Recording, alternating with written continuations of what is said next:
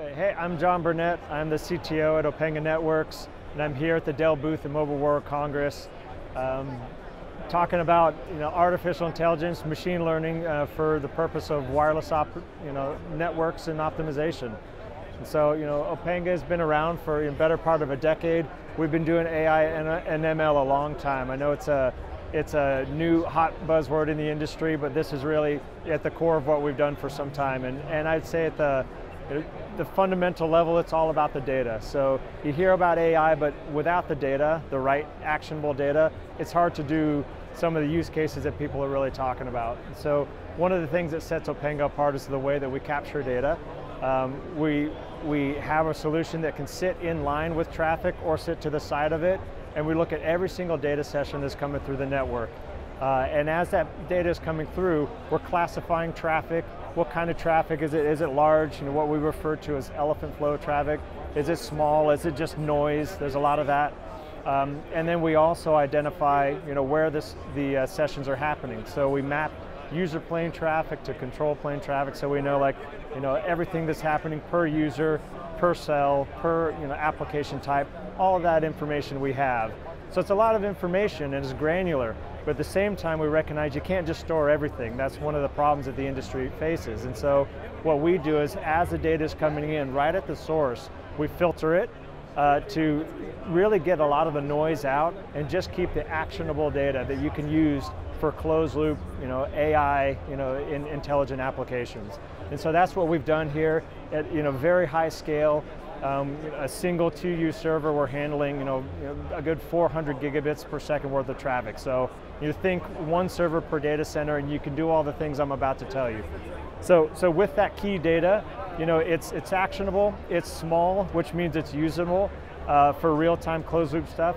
A couple of the applications I'll tell you about, you know, on top of that, one is our uh, energy reduction system. So this, this is getting a lot of attention right now, especially you know, for companies that are uh, you know, cognizant of their carbon footprint. Uh, also companies that just frankly want to save more OpEx, right? So energy is a big deal, especially in a radio access network. To power all of that, to put all the information out over the airwaves, it uses a lot of power. So what we do is we say, hey, let's take this data set. We understand in real time user experience for every cell, for every data session. And with that, you have a powerful opportunity to tackle the, the, the energy problem.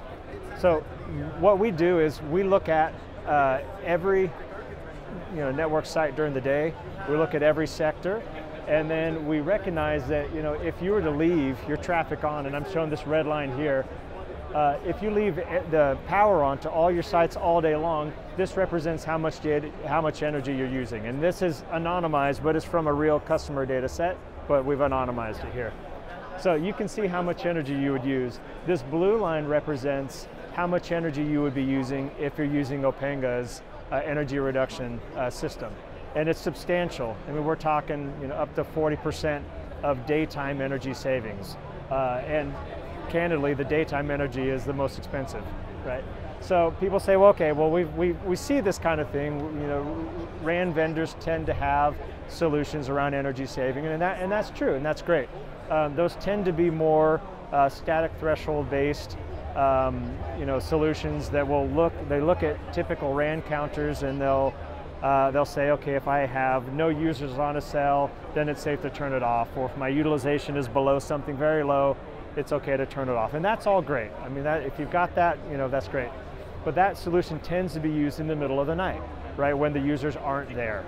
Um, and you, you have to stay there unless you have real feedback. And so this is where Opanga comes in. So what we do is during the daytime, we can monitor each sector of the network and we can monitor the, the cell usage. And so here you can see, I've just taken one, you know, an example uh, site typical three sector configuration. And, and what we can see here is in sector one, I can look at how many users are on each frequency band, right, within that sector. And I can say in sector one, I've got actually a good number of users. That's pretty full. There's some energy savings opportunity, but it's not, it's not a lot, but it's there. If I move on to sector two, I see a fewer number of users, but importantly, I see some bands where there's only like one or two users on average on those. And so this is where we come in and we say, okay, uh, let's take this 2600 band that has 1.5 users on average on that, right, during this time interval. We will use AI to predict if I were to turn that cell off, how will those users be redistributed on the remaining cells, right? So that's prediction one. Uh, the second thing we do is we use an ML regression model to say, okay, if I load these other cells this way, what will their resulting experience be? Uh, and that's key. And if their experience is still good enough, then we can say, we can recommend to turn that cell off, consolidate users, maintain the user experience, but by turning that off, we're saving power, right?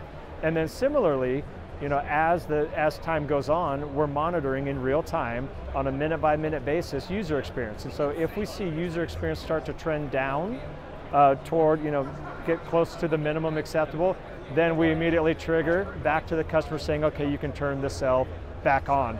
And so by doing that, having that real time, closed loop user experience information, we can basically match the energy usage to the actual data user demand uh, which is which is key. So that really sets us apart. You know, we have customers that are coming onto this. They're seeing like big savings, uh, super exciting, and you really can only do that if you have this type of information.